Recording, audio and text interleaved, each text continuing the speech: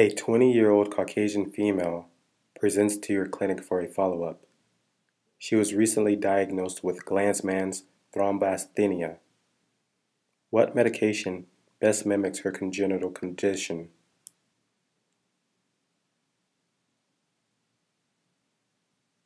Abciximab, abciximab.